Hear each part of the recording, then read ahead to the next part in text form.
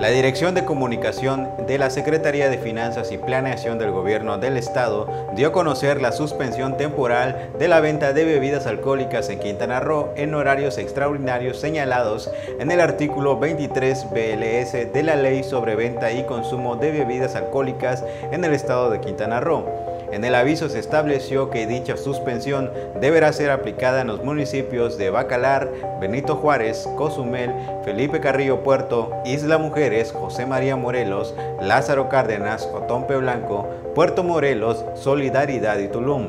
Dicha acción se suma a las medidas que el gobierno estatal está tomando para mantener el orden público en los municipios y entrará en vigor a partir de las 23 horas del día 27 de marzo del presente año y estará vigente hasta las 23 horas del día 10 de abril del 2020 con el objetivo de mantener el orden público.